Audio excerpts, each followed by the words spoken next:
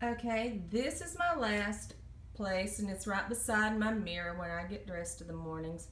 This is where a lot of my plunder is now hanging, but uh, I've got so much and it's overflowing that I'm going to have to get something else.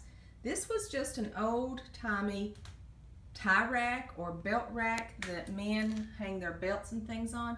I've got it hanging longwise and have jewelry hanging on it. But as I said, it looks like I'm going to have to uh, get something different. This is not quite doing the job anymore.